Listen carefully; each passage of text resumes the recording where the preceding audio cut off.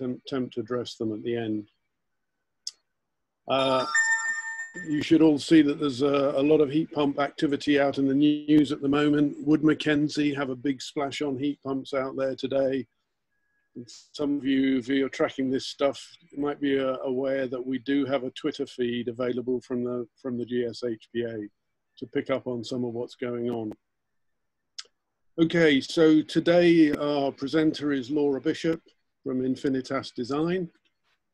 Uh, Laura is a great champion for heat pumps and, and for heat networks and, and their combination thereof. She's a council member of the GSHPA and she's a CIBSE net network consultant. So I'm really looking forward to uh, Laura clarifying the distinction uh, between fourth and fifth generation heat networks. Over to Laura. Okay, thank you, Robin. Uh, thank you everybody for joining today. Um, so the topic, as Robin has introduced, is the, is fourth and fifth generation district heat networks and subtitle how heat pumps can fit into those or do very nicely fit into those. Um, I've attended a couple of webinars during shutdown or during lockdown on fourth and fifth generation networks. So there is so much information out there, and I'm not going to go into great detail about what first generation, second generation is uh, up to fifth generation. Um, and this is by no means a, uh, and I've got all the answers, and this is it. There's a lot to pack in in 30 minutes, so we're, we're simply not going to be able to cover everything. But what I'm really hoping is that there is a lot of talk at the moment, as Robin said, about heat pumps and heat networks. And I'm hoping that this might actually be the start of maybe a wider conversation, and not just a conversation, but things actually happening in, in terms of uh, fourth and fifth generation networks and heat pumps specifically. So hopefully today I'm going to show you a couple of case studies of the two, um, talk about the benefits and the sort of drawbacks of, of each and uh, what the government is sort of saying at the moment about uh, heat networks and heat pumps. Um, and at the end, there will be half an hour or so of q&a time but hopefully as i say there'll be a lot more this will spur a lot more questions and a lot more conversation. That's what i'm really hoping for. So just some very basic as i said i'm not going to go into this in great detail because it has been covered on a lot of other webinars um, but generally what is a heat network? Um, i always think of it as a uh, everybody's familiar with what a gas network is pipes bringing gas to your house well a heat network is bringing hot water or sometimes cold water to your building.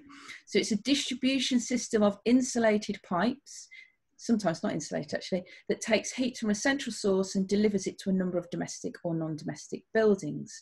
Um, that specifically about first to fourth generation and uh, we'll cover off fifth generation after this.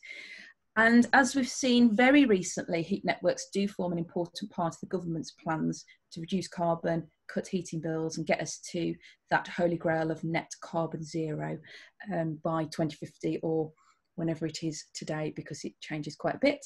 Um, so, very basically, again, fourth generation typically around 50 to 60 degrees C flow temperature in the network. So that's generally coming from a centralized plant. It could be a gas CHP, it could be a gas boiler, it could be a heat pump, a biomass boiler, but it tends to be lower temperature than the standard we've seen up to now, sort of in more recent heat networks where you're looking at 80 degrees C from a gas CHP or a, or a gas boiler. That's third generation. Fourth generation is lower temperature. Um, and it's a good low carbon enabler because of the fact that heat pumps and lower temperature um, systems can attach onto the network. Uh, fifth generation, on the other hand, is sometimes also called an ambient loop, and it tends to be very, very low temperature or ultra low temperature, sometimes called, which could be anywhere between 5 and 20 degrees C in the network. And that is exactly the same. It looks the same as a standard heat network. It's still pipes in the ground, um, but instead of having sort of hot or warm water in there, you're looking at more much more cooler temperatures.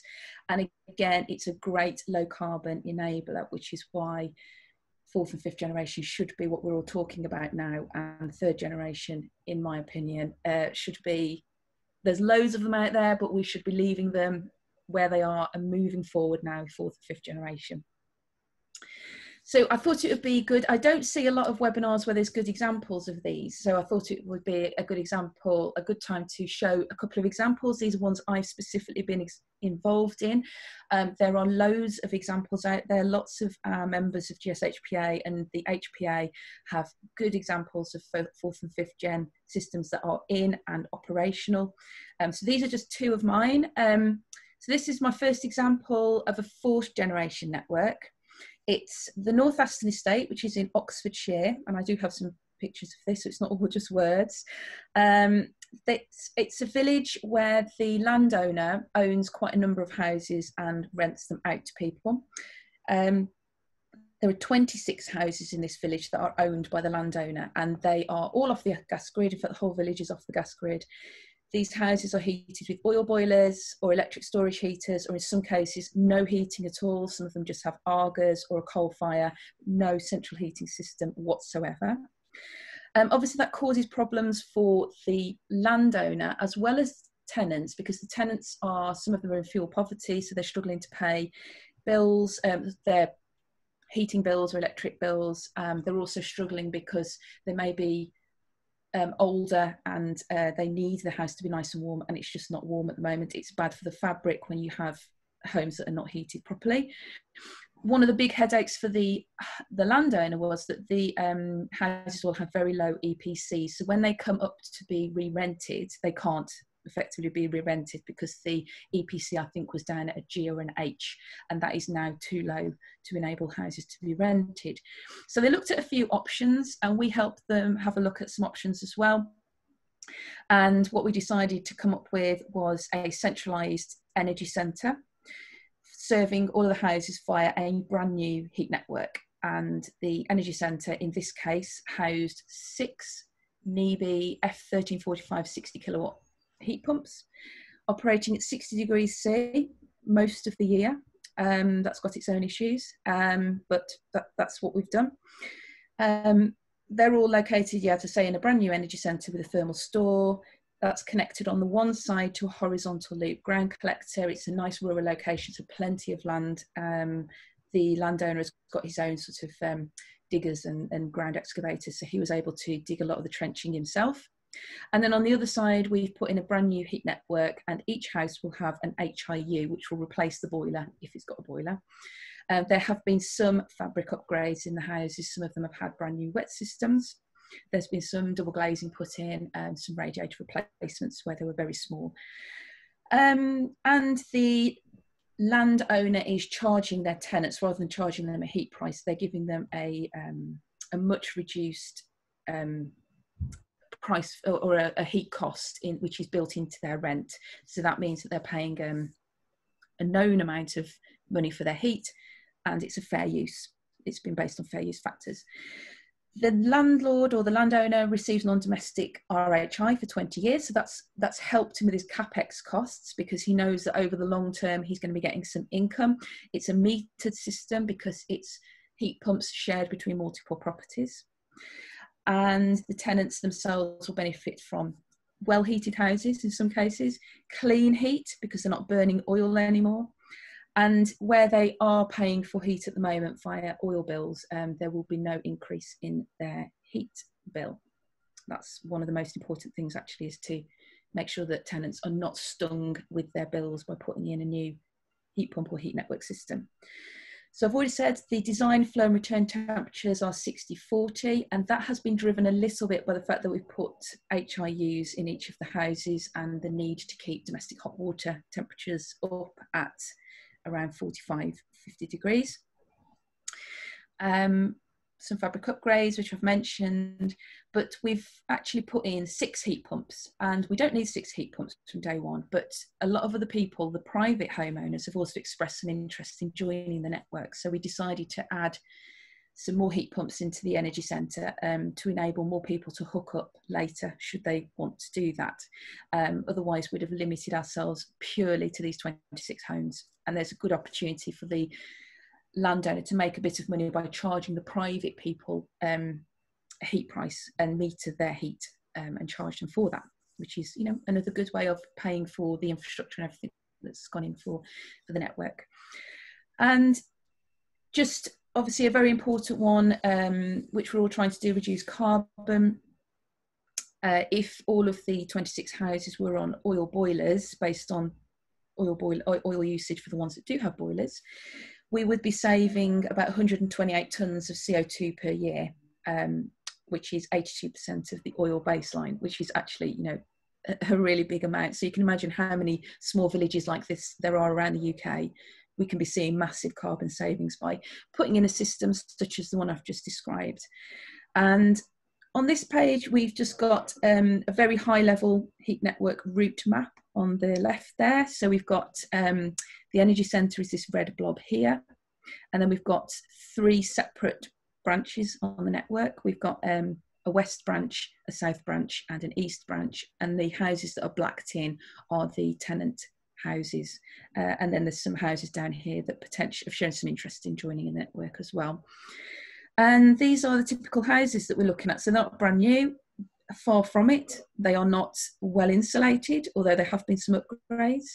But these houses will, uh, you know, once COVID is, is done and dusted and the weather improves, uh, these will be heated with um, heat pump heat via a fourth generation network. And we will be spending time talking to tenants and finding out how that is all going. Um, and hopefully we'll be able to publish some information about how this has actually worked and um, lessons learned and things like that to, to go forward. The bottom picture here just shows the location more or less of where the energy centre is going to be. So you can see it's quite a rural, well, it's very rural location. So plenty of room for the energy centre and the heat network. Um, another benefit that this village had because we were digging up for the heat network they've been able to get fibre fibre optic broadband brought in as well which has been laid into the trenches at the same time and there are grants available for that. So there's all kinds of benefits for this kind of system which is it's just been amazing to be involved with it to be honest. Um, so we'll keep you up to date and please feel free to ask questions about this and how it's going because um, i'd love to see this being rolled out in more villages around the uk so on to fifth generation. Um, as I say, I'm not going to be able to present loads and loads of stuff about all these different projects and there are people hopefully sitting on this uh, webinar who are thinking yep i've done this. I've got loads of examples myself. That's brilliant. The one i've been involved with lately is um, i know that kensa are doing a lot of work with these kind of schemes. So these are where housing associations own blocks of flats. Um, in this case uh, they're on the right. These ones are up north um, each of the 70 flats had individual gas boilers. They're sheltered housing, so elderly and vulnerable people. And the Housing Association decided to go down the route of a heat pump system, which is brilliant. Um, but rather than putting in a central energy centre and serving each flat with um, water at 55, 60 degrees C, they've decided to replace all of the gas boilers with small ground source heat pumps. In this case, they are inverter driven six kilowatt heat pumps in each flat. And as I say, Kensa have been doing this for a long time and other housing associations and companies are doing this as well. Um, so on this particular one, we have boreholes drilled around the flats in the area, um, with that green area you can see. And we are pumping that out of the ground. Um, temperature is sort of around 8 degrees C, fluctuates slightly depending on time of year how much heat is being extracted. And then we've got brand new pipework uh, running up the side of the buildings. So maybe a little bit unsightly, but it, the housing association not bothered in this case. Sometimes they can run internally, it all depends on the space available in the flats. So we've got brand new uh, runners and risers running outside the building, penetrating through the wall and then running through the communal corridors and then eventually dropping down into each boiler cupboard, which now houses a heat pump. The heat pump then takes the eight degrees C brine temperature and bumps it up to make it whatever the flat needs. It might be 50 degrees, it might be 55, 60. Uh, and each flat can obviously be doing their own thing. So if Mr. Smith wakes up at 6 a.m., he needs his heat then. And Mrs. Jones wakes up at 10 o'clock and she needs a heat then. They're not bound by a central energy plant their own heat pump can do its own thing and it just continually takes heat from that ambient network. And this is a different way of billing. The tenants are actually billed via a heat meter in their flat, so they pay for what they use, and a heat price will have been agreed with the tenant based on um, all sorts of different factors and each heat price is different. And again, looking at carbon savings on this one, um, assuming a gas boiler efficiency of about 80%, and in this case, I think we used heat pump COP of 3.6, um, we're looking at savings, carbon savings of about 57 tonnes CO2 per year or 72% of the gas baseline. Each one will be slightly different though, obviously, depending on what the baseline was. Um, the next slide just shows this is my brain dump of what I think I want to think of a fifth generation network. And again, there are loads of pictures that, that on the internet and that people have presented about what a fifth generation is. And essentially, in the middle there, you've got the loop. Uh, it's an ambient loop. It's low temperature, 5 to 20 degrees, as I've already said. And dotted all around there is different different things that serve the heat network and are served by the heat network. So what we've got is we have got um, waste heat from power stations, which can dump its heat instead of dumping it into rivers as they do at the moment. It can actually be used usefully, so dumping that into the into the network. We've got rivers um, via a heat exchanger that can be putting heat or cool into the network. We've got traditional boreholes, which can also be uh, putting heat into the network. Mine water, that's been in the news quite a lot recently. That's got temperatures of maybe 30 degrees C, all in pools below the ground, where mines are filled up with water. Those can be used to plug into the network. And then we also have here um, new build housing, generally heat demand only, um, office blocks which need heating and cooling, leisure centres which you've got uh, buildings of different ages, and data centres which produce a lot of heat and need cooling. So the benefit, the massive benefit of an ambient loop network is that all of these buildings and generators of heat and cool can be plugged in and that network will run and serve each of the buildings. So what you'd then be looking at is in each house or in office or leisure centre, they'd all have their own heat pump.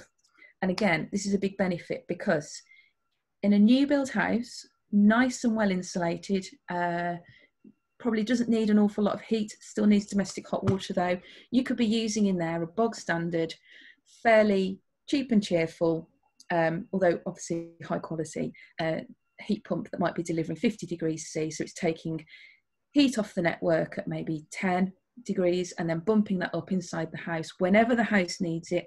So house one might need it, as I said before, at six o'clock in the morning, and house two might need it at midday. Each heat pump will do its own thing. The temperature is whatever the house needs at that time. Next door to that, you've got an office, um, and that might have its own heat pump that is doing simultaneous heating and cooling. So, extracting the heat or the cool off the network and either generating cold temperatures for the building or hot temperatures for the building for heating. Um, the other thing to say about that is that because it's on an ambient loop, sometimes it can take free cooling off the network depending on the temperature in the network. Typically, cooling comes in at 7 degrees C from a chiller. So that if the ambient loop was operating at 7 degrees C for whatever reason, you could bypass the heat pump altogether and just put 70 degrees C um, water around that building, and that would be sufficient to cool the building without any electrical demand except for pumping. If the temperature of the loop then rose to say 10, 11, 12 degrees, the heat pump would kick in a little bit, well, sorry, it would be wicking chilling then, uh, but that would then kick, kick in to produce the chilled water required. Um, so you end up with a very nicely balanced, or you can end up with a very nicely balanced loop. Just in the top right here, we've got thermal storage, and I think that is a very, very important um, aspect of all of this. Um, thermal storage enables, um, particularly enables demand response. So if none of these buildings were demanding heat, um, but there was plenty of heat and it was actually cheap to produce um, heating, you can use thermal stores, and these could be dotted about all over the place. Um, you could use that to store your heat during the daytime. Uh, sorry, during the night time when there's no heat demand and then released during the day when there's when electricity is more expensive or if there's a lot of PV on your development, you could be producing hot water or chilled water when plenty of sun is available, even if there's no demand on the network. And then you could reject that back into the network when there is um, a demand from one of these, one or more of these buildings. The other thing about multiple buildings is that sometimes you've got old buildings and sometimes you've got new buildings. So new buildings, like the new houses up here, they need standard heat pumps. An older building, like the one you can see here, this is Victoria Leisure Centre, they may be better served with a high temperature heat pump, which are available. Um, we have propane heat pumps, we have ammonia heat pumps that can run up to 80, 90 degrees C. They are more expensive and the efficiencies of them are lower because they have to work harder to get those temperatures up there, but they are perfectly available now on the market, operating right now. Um, but the benefit, obviously, of that is that here you can have a heat pump that is working at very high efficiency, or even in the new bits of the leisure centre. Over here, you can have a separate heat pump working at lower efficiency, but still keeping the building um, comfortable. And that is the benefit of these of these loops. Um, they're also enable you to expand the system later on. So if you have a new power station being built, you could look at rejecting the heat from that into the loop. Um, you can't do that with a fourth generation network because you need to be matching temperatures really at 60 degrees, that kind of temperature. Finally, my final point on there is negligible network losses because heat loss is driven by the temperature difference between inside a pipe and outside a pipe.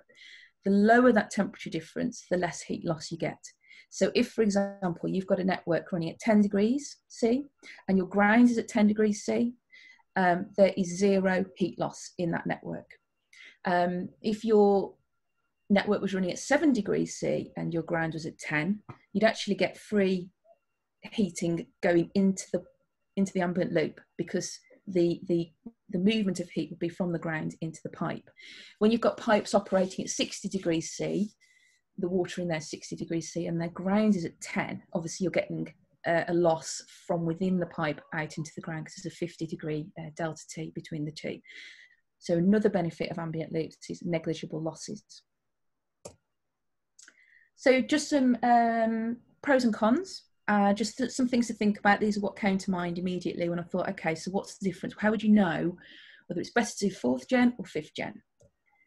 So just the first thing to say is it's very site and customer specific. There is no one size fits all for any of these. And there's also a place for individual heat pumps per building without a network. So that is another option.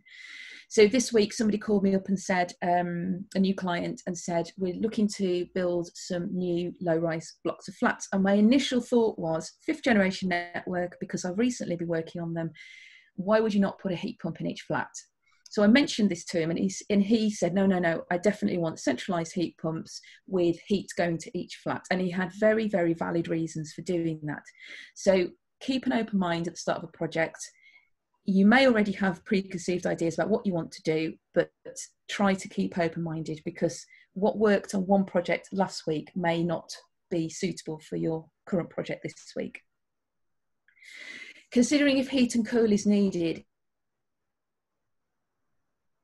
if it's a mixed use development, cooling demand as well as a heating demand, certainly bring fifth generation to the front of your mind because they can work extremely well as we've just seen in the previous slide.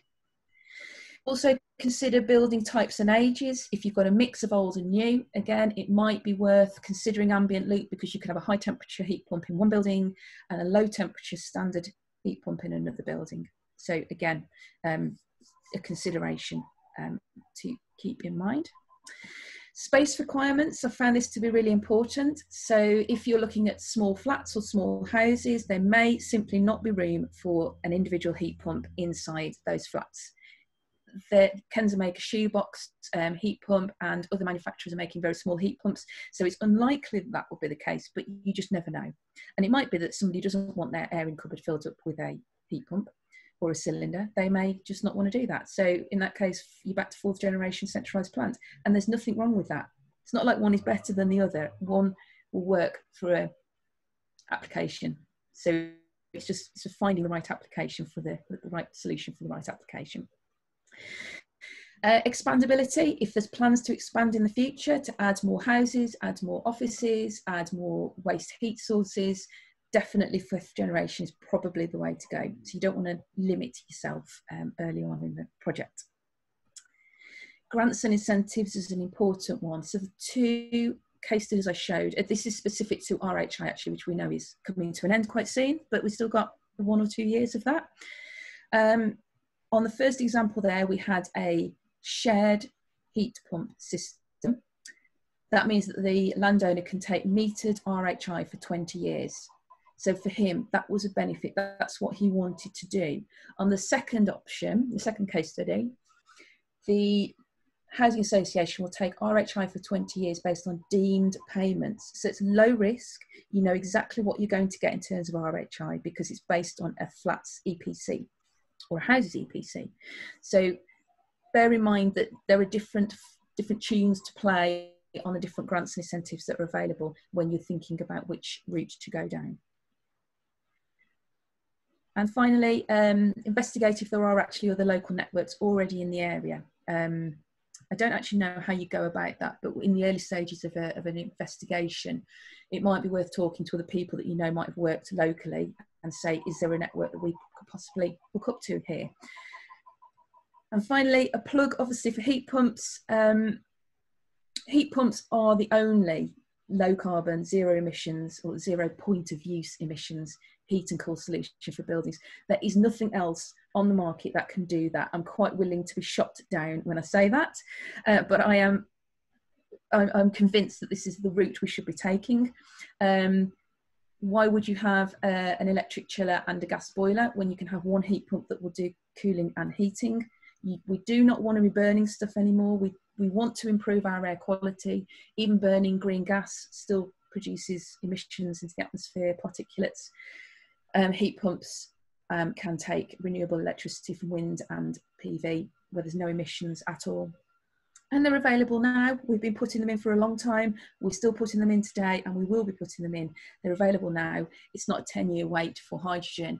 Heat pumps are here now. So we should be doing it right now. So shameless plug, but there we go.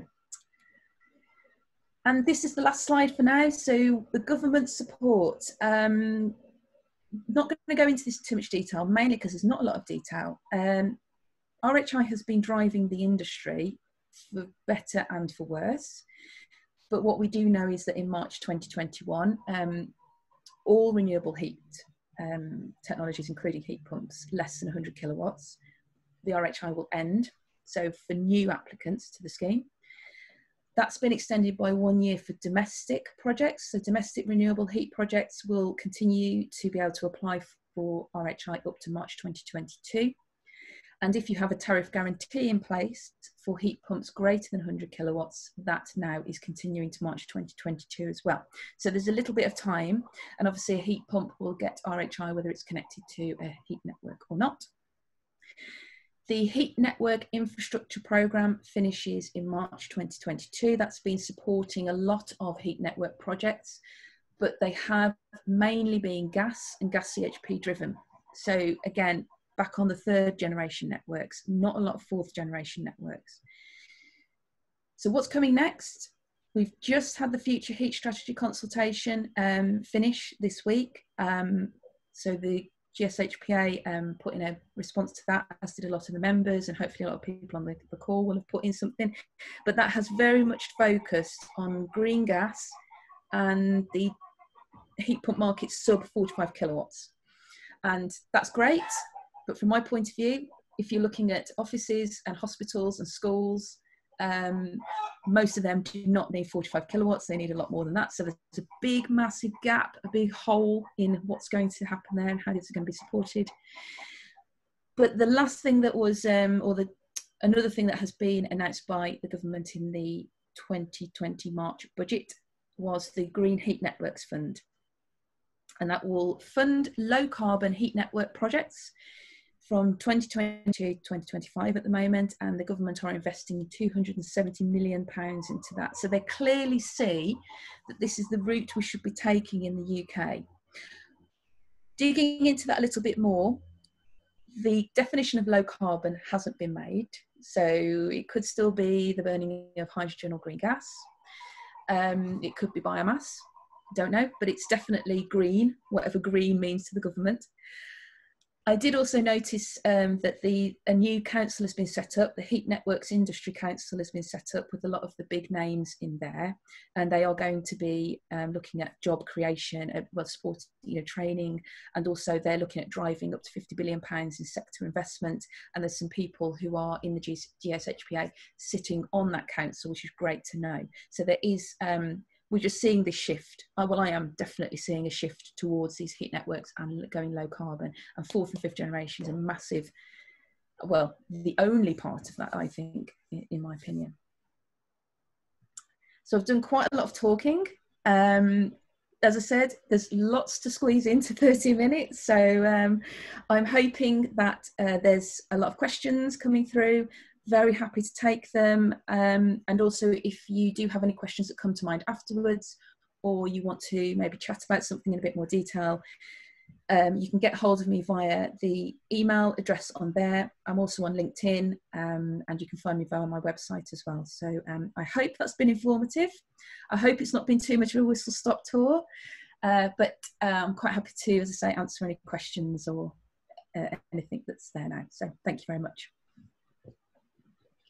Thanks, Laura. That's a great overview of uh, these new networks.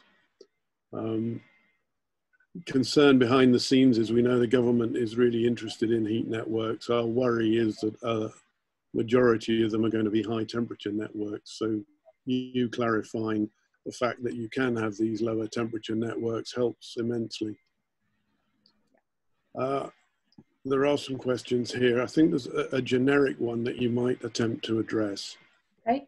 One, one of the unique features, um, and you might call it an awkward feature uh, of heat pumps, is that we tend to want to deliver heating and hot water at different temperatures.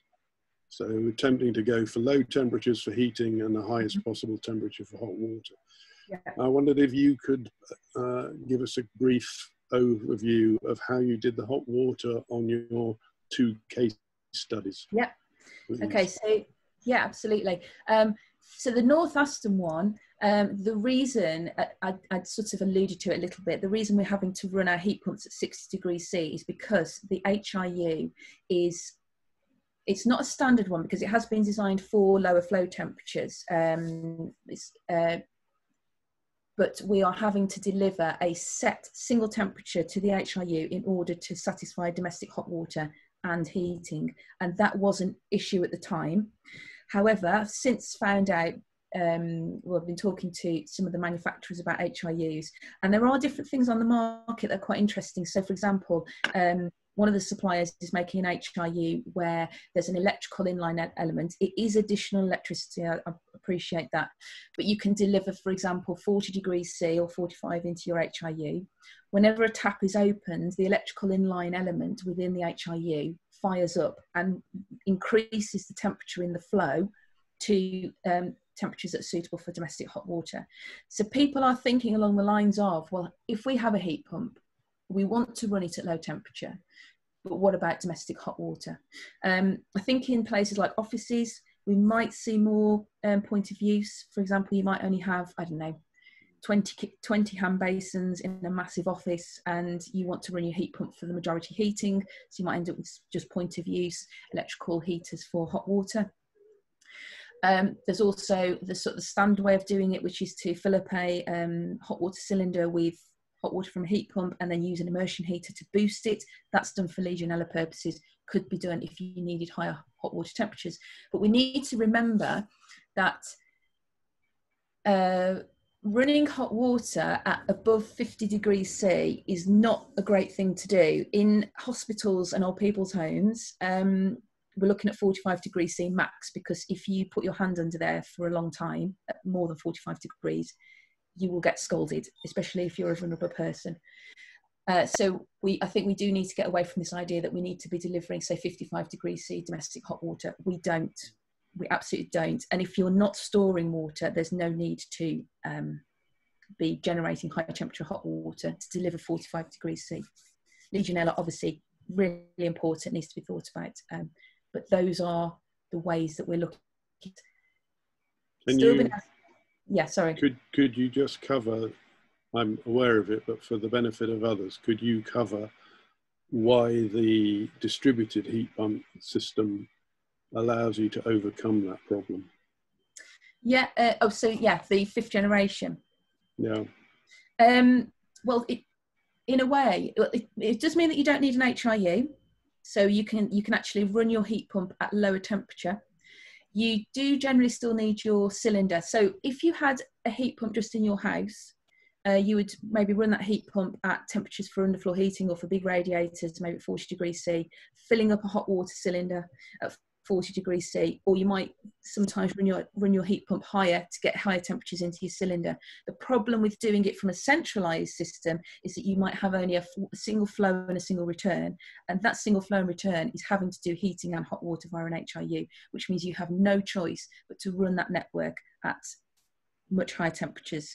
The HIU gives you a temperature drop across the plate, and it means that when someone turns a tap on, they instantly want hot water so your, your network is having to run high temperature all the time. And when I say high, I mean like 60 degrees, not 80. Mm. Thank you. Um,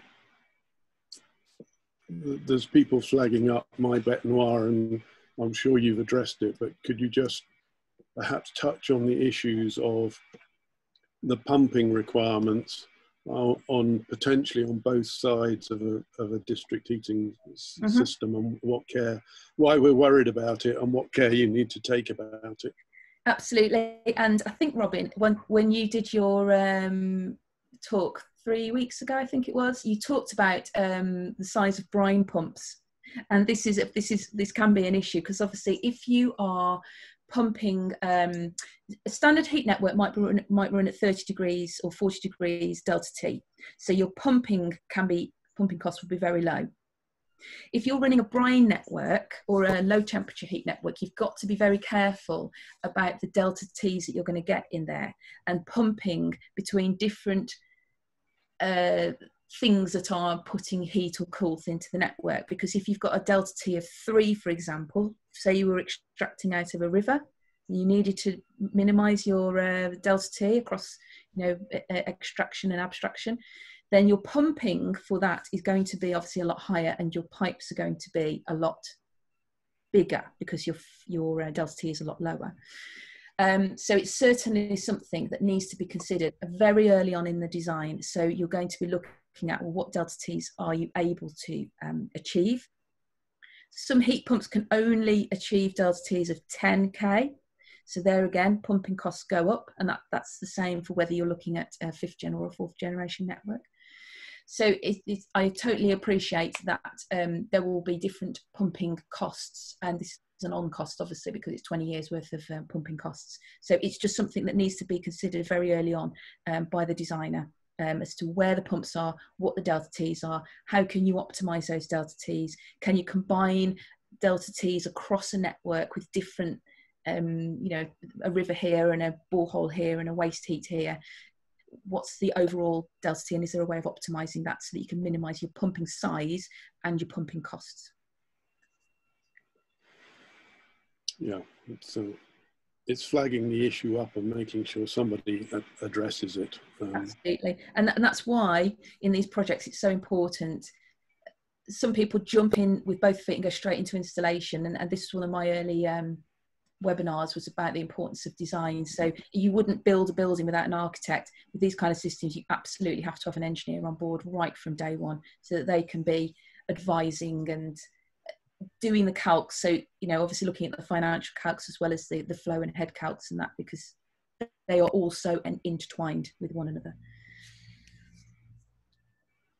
There's a jumping around here question in from simon uh, Kensa. Traditional m&e consultants don't understand the ground. Yeah i'd agree with that. So they shy away from our technology Understanding the ground and designing a suitable array is critical, especially if you're looking to cool as well. How do we provide them with the necessary support? I mean, it's a bit unfair to lob at you, Laura, but your, your views on it. Yeah, the, well, I've got very strong views, and I, I have a bit of a, a whinge about this quite regularly about how, in fact, we were talking about this last week. Um, It's it's a really good question, and I don't have an answer um, apart from uh, there should be some way that M&E consultants can feel able to come and talk to people in the GSHPA or the HPA or the HPF or the many other, you know, um, and people like that and talk to them about these systems. I don't know whether it's a pride thing and they just think we've always done it like that. So if it's new, we don't want to touch it um, or, you know, we, we don't understand it and we don't want to admit we don't understand it. I really don't know. But somehow there has to be a mechanism whereby if a client wants something like this doing, that they tell the M&E consultant, please go and speak to the GSHPA or please go and speak to the HPA about it. I don't know how you can do that. And the problem is that because clients are not always aware that it's important to get this right and they're relying on the M&E consultant, the client is not always going to say, you need to go and speak to a specialist on this. All we can do is try and get the message out like this. This is all we can do. Social media, um, webinars, training online. Is the government going to help us? I don't know because I don't know if the government really understand this either, that it's an issue. So I totally understand, Simon, and um, I just think we have to do what we can. I don't know, Robin, you've got any other ideas on that? I agree with all you say. I got shot up quite badly in a webinar and another webinar recently when I said one of the blockers, and it's a non-technical blocker, um, is uh, M&E's looking at their PI, and it's it's very safe for them to recommend a, a standard solution. They're not going to get sued by anybody for lack of heat or lack of cooling, um, and so it's very tempting for them to default to um, to the standard offering rather than taking the risk. And somehow we, we are going to have to be able to provide the confidence that we minimize the risk. They yeah. can minimize the risk by engaging trained and qualified designers. Yeah.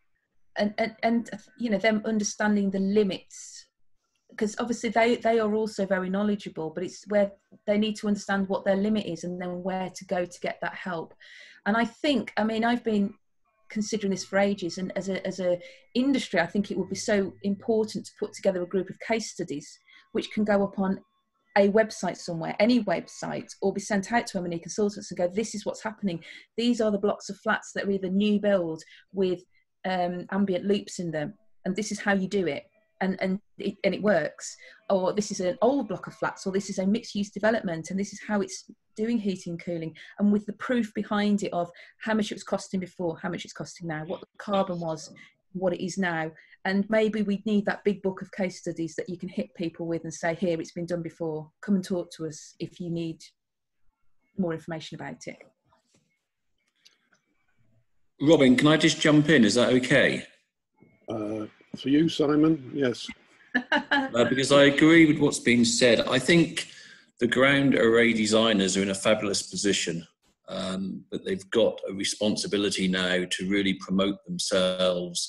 Whether they do that as individual companies or through the GSHPA, it just needs to be done because I'm terrified at the prospect of poorly designed arrays threatening the integrity of this technology we are going to see an explosion in demand. We're already seeing it.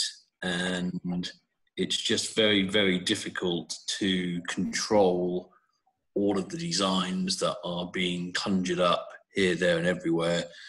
I worry a little, Laura, about case studies because I have this horrible fear that people say, well, because it worked there in that example, I'll just copy it mm. here. And we all know how diverse the ground is. But really, the question wasn't designed to trip anyone up. It was designed to encourage you to go out there and say, "We understand this.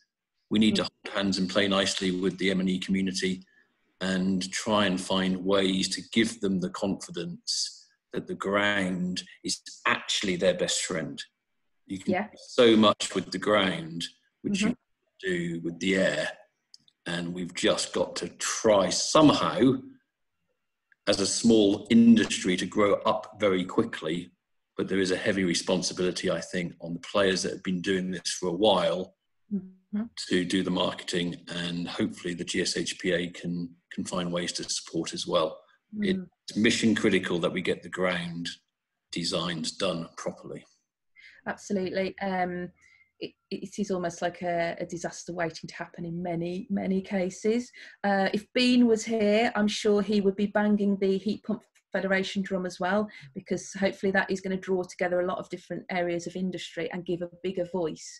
Um, but yeah absolutely. It, it's like we need to have some kind of partnerships with with the m&e consultants. There are many many of them. There's obviously the very big ones that everybody knows but then there's also the local smaller ones. And it's how we identify them and get in there not really proactive i think in terms of getting in there finding out what's going on and trying to get in there to avert a crisis without peeing them off at the same time by being know-it-alls. So uh, yeah, it's a tricky one. Um, yeah. Can I can I can I come in, Laura? Is that okay? Yeah, um, absolutely. Um, yes, please do. I, I, was just listening to what Simon says, and, and and Robin as well is one of the one of the designers that Simon's referring to.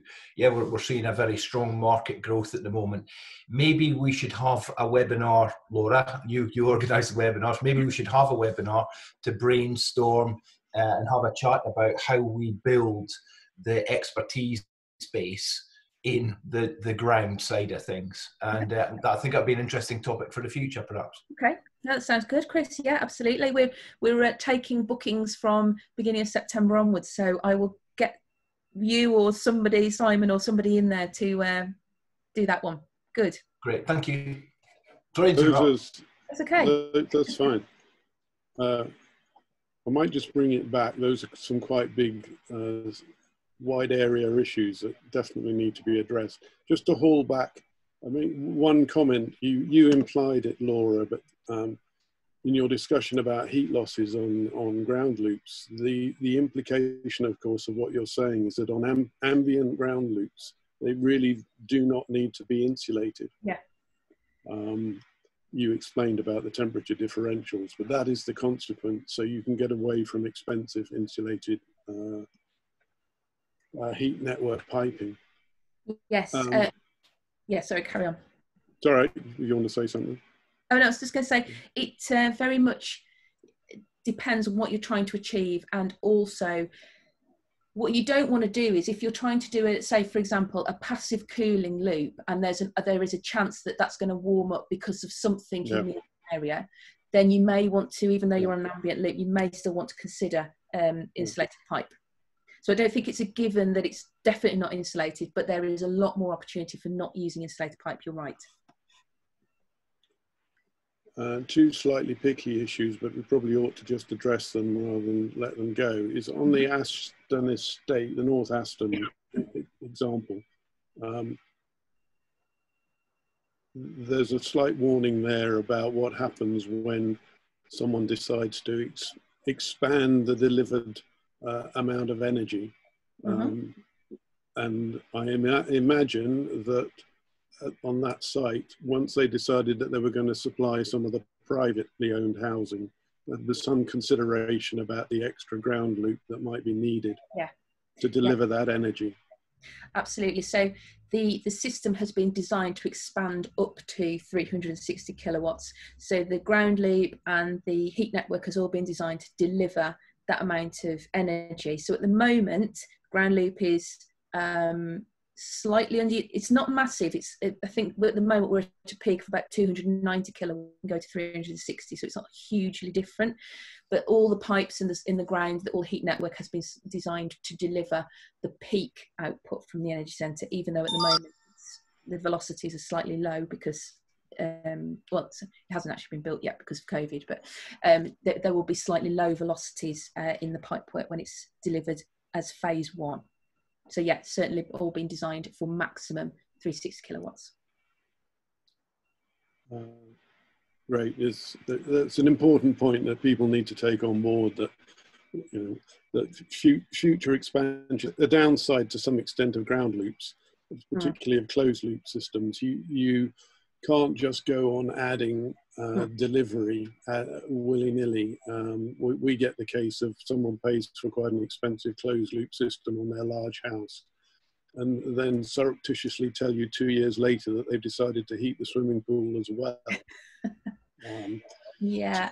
Uh, so just it's just a warning there about ground loops. Um, yeah, it was, it's actually the same for heat networks, Robin. When I've designed a heat network and then find that somebody instead of putting 500 kilowatts of heat pump in, they've decided to put 800 kilowatts of heat pump in, and they haven't changed the size of the network, and that's big. that's a big problem. Um, um, because it's a bit of an HSE issue, uh, there are questions and comments on here about dealing with Legionella, mm-hmm. and uh, I don't know if you, would want to comment on it, but the, there is the point that's uh, particularly when you're looking at non-domestic systems uh, where the, the regs are a bit tighter than they seem to be on non-domestic in the UK, mm, uh, uh, is issues about um, exposing the system, the entire pipework system to a high temperature for some length, some period of time to yeah. address Legionella. I don't know if you want to just touch on that. Yeah, yeah. So I've got quite a few jobs um, where we're looking at very, for example, a very old school uh, where they've got old pipework for um, domestic hot water, um, and we're looking at uh, we're putting a heat pump in. It's 70 degrees C heat pump, um, so it's not it's not low low temperature, but uh, there will be stored hot water, um, and we will at some points in the network because it's long and there's a few dead legs. We will actually potentially be uh, looking at um, areas where it will fall below the 60 degrees C. Uh, we're working with the on-site M&E guys on that and it's something again it comes back to the early design is to identify where that's a problem and to work out um, a way of addressing that and obviously uh, uh, increasing the temperature of a hot water cylinder to 60 degrees C for one hour per night is not going to help because that's not going to flush out the system, the whole system. So um, yeah, it's again, it's a case by case basis and how you deal with that um, and whether you bring your gas boilers on because most of these projects will still have um, high temperature in the background. So do you bring your gas boilers on for a couple of hours um, every so often and then during the day so that when everybody's using the building, the building is being flushed.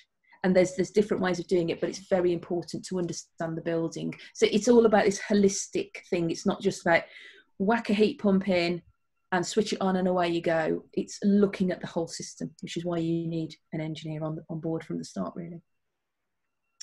Brilliant. Well, we're just about at the hour, so uh, I haven't got uh, any more burning questions. It's sorry, wrong phrase to use with heat pumps. no burning, no combustion.